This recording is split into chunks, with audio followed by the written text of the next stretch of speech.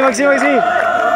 Bueno, hermano, se te dio, ¿no? Se te dio el gol en el partido y después las penales, ¿no? Sí, la verdad, no sé con qué la metí ahí, pero lo importante es que ganamos.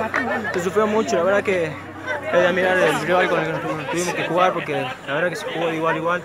Eh, ¿Qué puedo rescatar? Los huevos de este grupo, creo que tuvimos dos errores, nos dieron vuelta el partido y, y creo que con un poco de calma y peche pudimos dar vuelta a la victoria.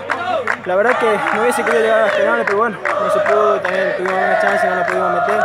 Pero bueno, gracias a Dios, la lotería de las penales nos, nos lleva a semifinales y muy contento por eso. Bueno, ahora a trabajar para el próximo que se viene. ¿eh? Sí, seguro. Déjame mandar un saludo a mi familia Tucumán, a los que me vienen a ver y a mi hermana que cumple años, que se van a la en el cielo. Muchas gracias. Gracias, hermano.